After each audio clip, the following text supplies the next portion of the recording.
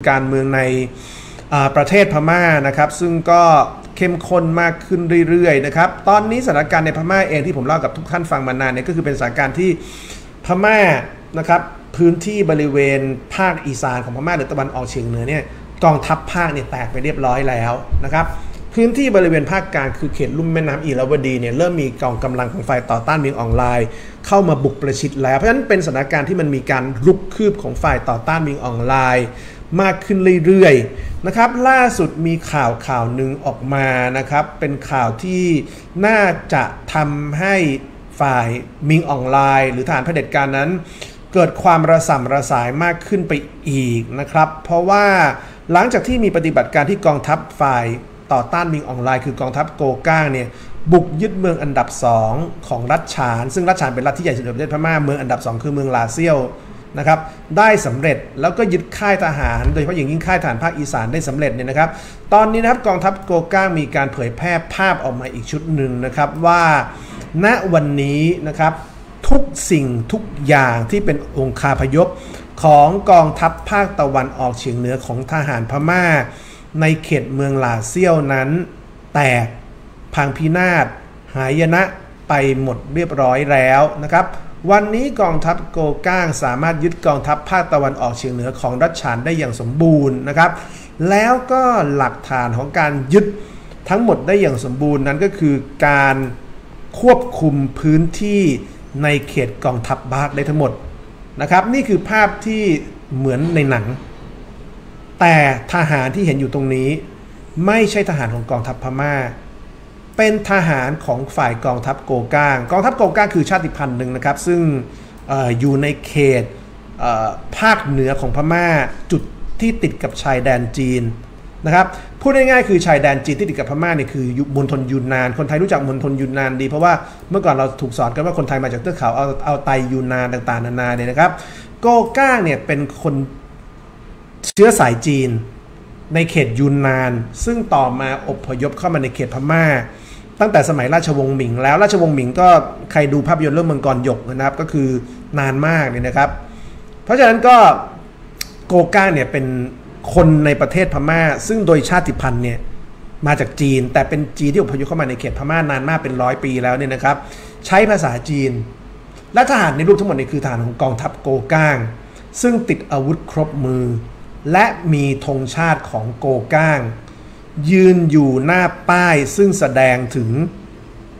กองทัพภาคตะวันออกเฉียงเหนือของฐานพม่านะครับ มันคือ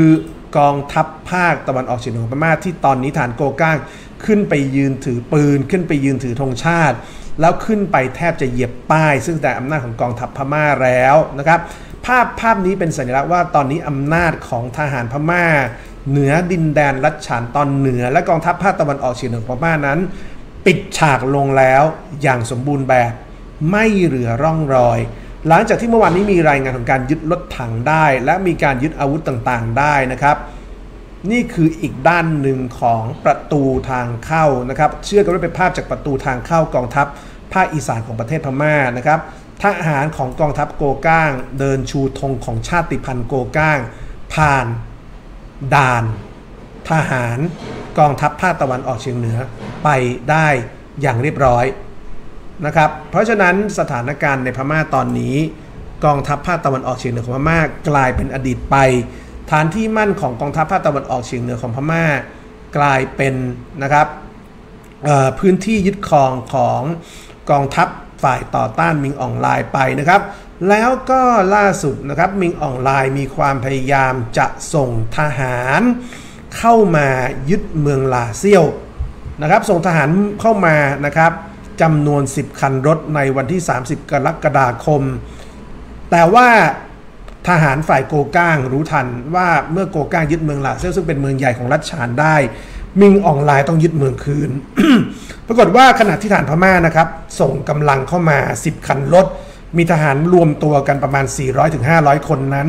ทหารฝ่ายโกก้างได้ดักซุ่มโจมตีนะครับและผลจากการดักซุ่มโจมตีเนี่ยนะครับก็เป็นสภาพที่ฐานพม่านั้นจาก 400 คนเสียชีวิตไป 80 คนนะครับแล้วก็อีก 50 คนเนี่ยนะครับบาดเจ็บสาหัส นี่ก็คือภาพอีกมุมหนึ่งนะครับของปฏิบัติการที่ทหารโกก้างเนี่ยดักซุ่มโจมตีทหารพม่า 400 คนใน 10 คันรถ ซึ่งผลจากการโจมตีนั้นทหารพม่าเสียชีวิตไปทั้งสิ้น 80 นาย และบาดเจ็บสาหัสจากการโจมตีอีก 50 แปลว่าฐานพม่าสูญเสียไปและบาดเจ็บและเสียชีวิตรวมกัน 130 จากทั้งหมด 400 มันคือเกือบ 30%ที่ทั้งบาดเจ็บและสูญเสียไปนะครับเพราะฉะนั้นเป็นความสูญเสียครั้งใหญ่ของกองทัพพม่าที่น่าจะทำให้ฝ่ายมิงออนไลน์นั้นเกิดความระส่ำระสายในการเข้ามายึด พื้นที่หลาเซี่ยวนะครับ ซึ่งตอนนี้ฐานพม่าอ่อนแอ ทหารที่ถูกส่งมายึดเมืองลาเซียวสู้กับโกก้านั้น เป็นทหารใหม่ไม่มีประสบการณ์ลบ แล้วก็มีรองแม่ทัพบาดเจ็บไปอีกรายหนึ่งด้วย เพราะฉะนั้นพม่าแตกเรียบร้อยในเขตภาคตะวันออกเฉียงเหนือ และการส่งกำลังมายึดพื้นที่คืนนั้น ถูกกองทัพมิงอองถูกกองทัพฝ่ายต่อต้านมิงออนไลน์สกัด ไม่ให้เข้าใกล้เมืองลาเซียวได้ และจบด้วยความพินาศ พ่ายแพ้ไปอย่างย่อยยับนะครับ นี่ก็คือภาพอีกมุมหนึ่งถึงของรถทหารพม่านะครับที่เละตุ้มเป๊ะเรียบร้อยแล้วนะครับไม่เหลือสภาพอะไรเลย ความน่าสนใจของการโจมตีทหารพม่า โดยกองทัพฝ่ายต่อต้านมิงออนไลน์ตอนนี้ก็คือว่าขวัญและกำลังใจของฐานพม่าที่ยังคงหลงเหลืออยู่ในพื้นที่นั้น หมดสภาพแล้วอย่างสมบูรณ์นะครับ เดี๋ยวทุกคนจะได้เห็นภาพนะครับของครอบครัวทหารพม่า ซึ่งอยู่ในลาเซียวเนี่ยนะครับ ประมาณ 100 คนหรือ 200 คนเนี่ยยอมมอบตัว ยอมแพ้ไม่ขอรบต่อไปอีกแล้วนะครับ นี่คือภาพของทหารพม่าและครอบครัวนะครับราวราว200 คนซึ่งอยู่ในพื้นที่ของกองทัพภาคตะวันออกเฉียงเหนือที่เมืองลาเซียวซึ่งเป็นเมืองใหญ่อันดับ2ของรัฐฉาน ทหารพม่ากลุ่มนี้นะครับ ค่อยๆ ปลดอาวุธตัวเอง และครอบครัว แล้วก็เดินยกธงขาว เอามือกุมหัว ออกจากกองทัพภาคตะวันออกเฉียงเหนือของพม่า ในเขตรัฐฉานตอนเหนือ และขอยอมแพ้ไม่ขอสู้กับกองทัพฝ่าย โกก้าง ไม่ขอสู้กับกองทัพฝ่ายต่อต้านมิงอองไลอีกต่อไป มีทหารที่ออกมามอบตัวคราวนี้ 200 คนนะครับ แล้วก็ มีนะครับทหารที่ป่วยจากการสู้รบนะครับอีก 100 คน ซึ่งขอออกมามอบตัวด้วยนะครับ กลุ่มนี้ก็น่าสนใจนะครับ เพราะว่าหลังจากฝั่งกองทัพพม่า ถูกกองทัพฝ่ายต่อต้าน ตีค่ายทหารแตก ตีกองทัพภาคแตก กองทัพภาคได้ทิ้งโรงพยาบาลทหาร ซึ่งมีทหารจำนวนมากบาดเจ็บนะครับแล้วก็มีพลเรือนจำนวนมากบาดเจ็บนะครับ นี่ก็คือภาพล่าสุดที่ ครอบครัวทหาร รวมทั้งทหารพม่าที่บาดเจ็บ แต่ถูกพวกเดียวกันทิ้ง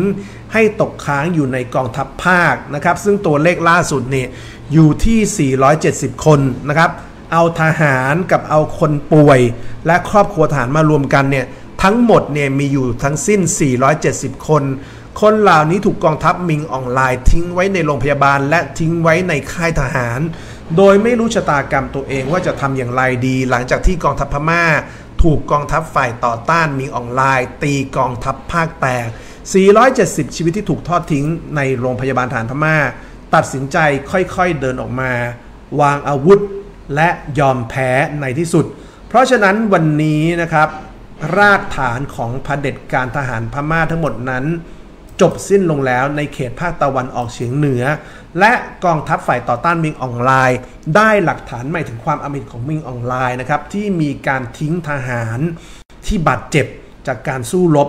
ในเมืองลาเซียว กองทัพภาคถูกบุก สิ่งที่เกิดขึ้นก็คือทหารของกองทัพภาคที่หนีได้หนี ส่วนที่หนีไม่ได้นั้นถูกเพื่อนๆด้วยกัน ทิ้งให้อยู่ที่โรงพยาบาล ในสภาพที่ไม่สามารถดูแลตัวเองได้เลย เพราะนี่คือความอมหิตและความใจดำของกองทัพมิงออนไลน์นะครับทหารเหล่านี้หรือคนเหล่านี้เคยเป็นครอบครัวของกลุ่มมิงออนไลน์ แต่ว่าถูกทิ้งนะครับให้เผชิญกับความเสี่ยงต่อการเสียชีวิตจนในสุดแล้วในกลายเป็นกองทัพฝ่ายต่อต้านมิงออนไลน์ไปช่วยเหลือคนเหล่านี้ออกมานะครับ ซึ่งก็ไม่น่าเชื่อนะครับ มีรายงานมาล่าสุดนะครับ ว่าตอนนี้เกิดเหตุการณ์ที่ฐานพม่าระดับในพลเนี่ยนะครับ เสียชีวิตคาสนามรบอีก 1 รายหรือ 2 รายด้วยนะครับ จากเหตุการณ์ที่นั่งเฮลิคอปเตอร์ไปนะครับ แล้วก็พยายามจะเข้าไปในเขตสนามรบ เพื่อต่อสู้กับกองทัพฝ่ายต่อต้านมิงออนไลน์นะครับ แต่ว่าเอ่อนายพลของพม่านะครับในเขตกองทัพกองทัพอากาศภาคใต้เนี่ยนะครับ นายพลโสตินรัตนะครับ แล้วก็ผู้บังคับบัญชาอีก 3 นายก็ตายขณะที่บินอยู่บนเฮลิคอปเตอร์นะครับ ในเขตแนวหน้าของสนามรบในพื้นที่ภาคย่างกุ้งนะครับ ซึ่งเป็นเมืองหลวงเก่าของพม่านะครับ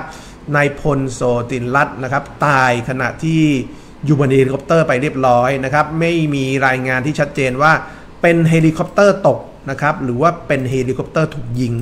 นะครับยังไม่มีหลักฐานปรากฏชัดเจนว่านายพลของพม่ารายล่าสุดคนนี้ ตายเพราะฮ.ถูกฝ่ายต่อต้านยิงตก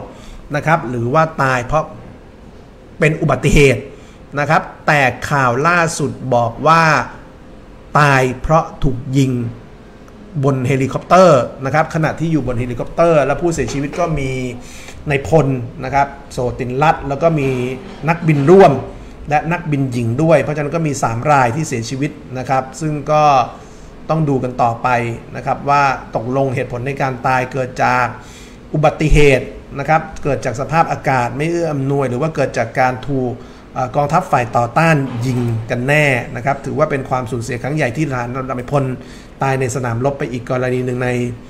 ประเทศพม่าด้วยเช่นเดียวกันนะครับ ในพื้นที่อื่น ๆ ซึ่งกองทัพฝ่ายต่อต้านลบชนะมิงออนไลน์นั้น ภาพที่ทุกท่านเห็นตอนนี้นะครับอาจจะมีโลโก้ QR code สำหรับสนับสนุนผมนะครับ0072977068บังนิดหน่อยนะครับ ต้องขอโทษด้วยนะครับภาพที่ท่านผู้ชมเห็นตอนนี้นะครับ คนที่แต่งตัวในชุดทหารเนี่ยไม่ใช่ทหารพม่า แต่เป็นทหารฝ่ายต่อต้านมิงออนไลน์นะครับ เป็นทหารฝ่ายกองทัพตะอางนะครับ เป็นทหารฝ่ายกองทัพตะอางนะครับที่ภาพที่ทุกท่านเห็นตอนนี้นะครับเป็นภาพซึ่งพวกเขานะครับ ยึดเมืองในเขตรัชาเหนืออีกเมืองหนึ่งได้นะครับเมืองนี้มีชื่อว่าเมืองมิตรนะครับเมืองมิตรเนี่ยถูกกองทัพตะอางยึดได้นะครับในวันที่ 27 มิถุนายนนะครับเออไม่ใช่นะครับไม่ใช่ในวันที่27มิถุนายนนะครับในวันที่ 31 กรกฎาคมนะครับซึ่งกองทัพตะอางเนี่ยนะครับ ยึดเมืองมิตรได้นะครับในเวลาบ่ายโมงนะครับ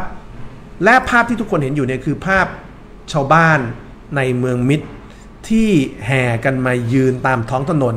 เพื่อมอบดอกไม้และแสดงความชื่นชม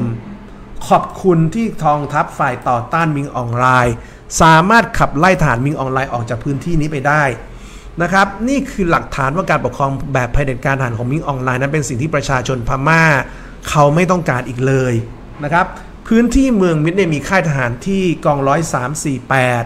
สองหกเจ็ดนะครับและอื่นๆอีกหลายต่อหลายค่าย หลายต่อหลายกองร้อย แต่กองทัพตะอางนะครับฝ่ายต่อต้านมิงออนไลน์ขับไล่ฐานพม่าออกไปได้หมด แล้วก็เคลื่อนกำลังพลทั้งหมดเข้ามาที่เมืองมิตรแล้ว ทันทีที่กองทัพฝ่ายต่อต้านมิงออนไลน์เข้ามาถึงเมืองมิตรนะครับชาวบ้านในพื้นที่นะครับลูกเด็กเล็กแดงนะครับ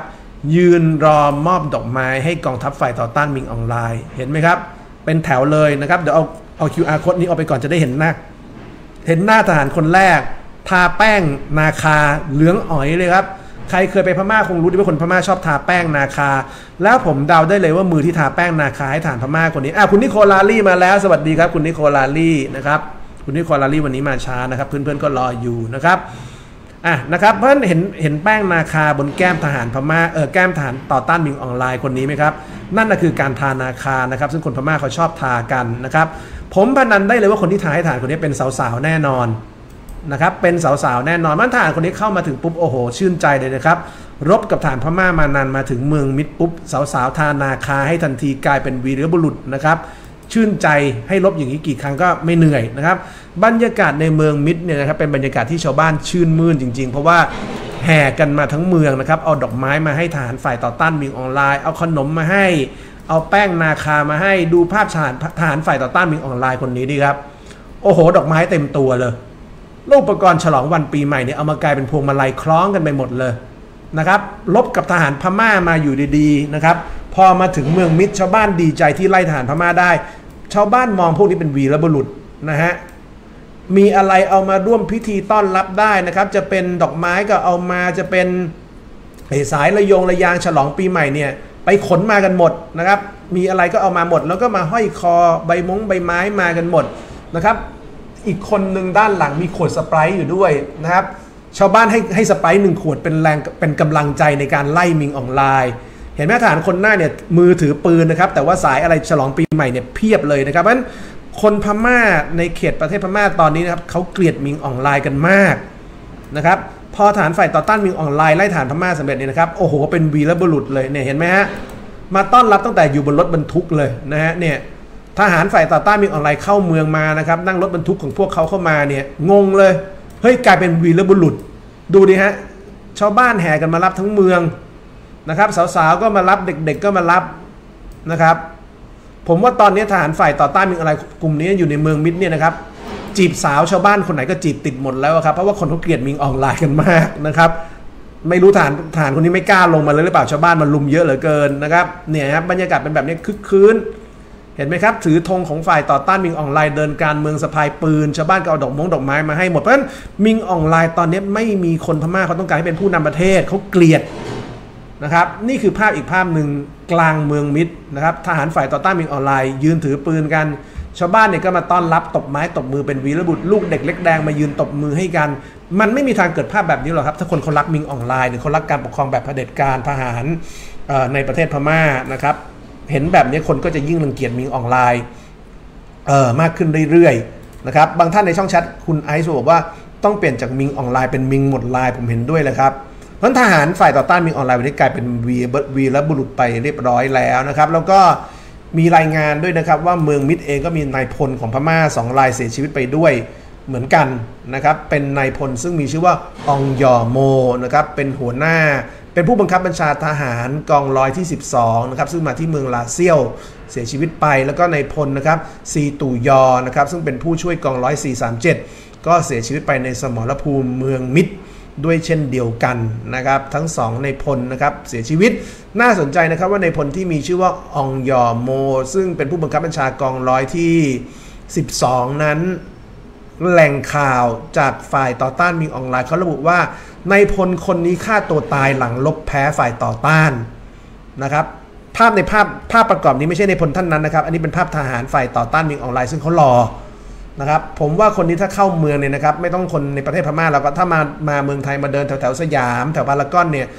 สาวๆก็แห่ถ่ายรูปด้วยเหมือนกัน คือรออย่างเงี้ยเป็นทหารอย่างเงี้ยนะครับสาวๆเขาชอบแน่นอนนะครับ แต่ไม่ใช่ทหารที่ตายไม่ใช่ในพลที่ตายนะครับ ในพลที่ตายเนี่ยนะครับไม่ใช่คนที่อยู่ในภาพนะครับในพลที่ตายชื่อองยอมอเนี่ยนะครับตายจากการฆ่าตัวตายพอลบแพ้เป็นผู้บังคับบัญชากองร้อยที่ 12นะครับเพราะฉะนั้นก็ ความสูญเสียแบบนี้ก็น่าจะหนักจริง ๆ นะครับสำหรับเหตุการณ์ที่เกิดขึ้นในประเทศพม่าถึงขั้นที่ในพลที่ลบแพ้ฆ่าตัวเองตายไปนะครับ อีกรายหนึ่งก็ตายไปโดยไม่มีการระบุสาเหตุว่าเกิดจากอะไรนะครับขณะเดียวกันตอนนี้นะครับมิงออนไลน์เองก็ตอบโต้นะครับด้วยการโจมตีนะครับเมืองของฝ่ายโกก้าง โกก้างนี่มีเมืองสำคัญของเขาคือเมืองเล้ากายนะครับซึ่งก็เป็นพื้นที่พลเรือนนะครับ